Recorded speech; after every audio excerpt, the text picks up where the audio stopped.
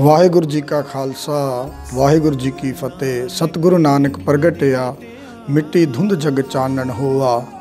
ਜਿਉ ਕਰ सूरज निकलिया तारे छपे अंधेर पलोआ जैसा कि गुरु नानक दरबार कराची की तरफ से पाँच सौ इकवंजा प्रकाश गुरुपुरब गुरु नानक देव जी का गुरु नानक दरबार कराची में हर साल की तरह इस साल भी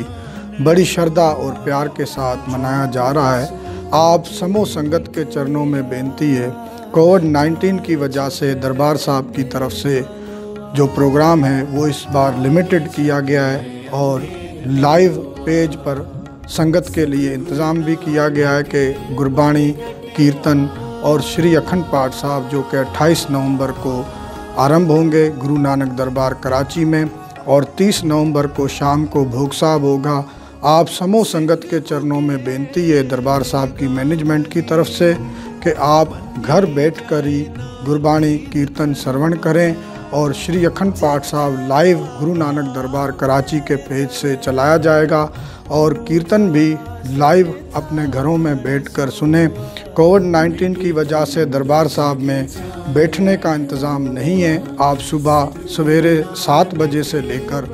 शाम सात बजे तक दरबार साहब आ सकते हैं, मत्था टेकें, अरदास करें और गुरु साहब के चरणों में ये अरदास करें कि शरबत के भले की अरदास होनी चाहिए, जो कोविड 19 की वजह से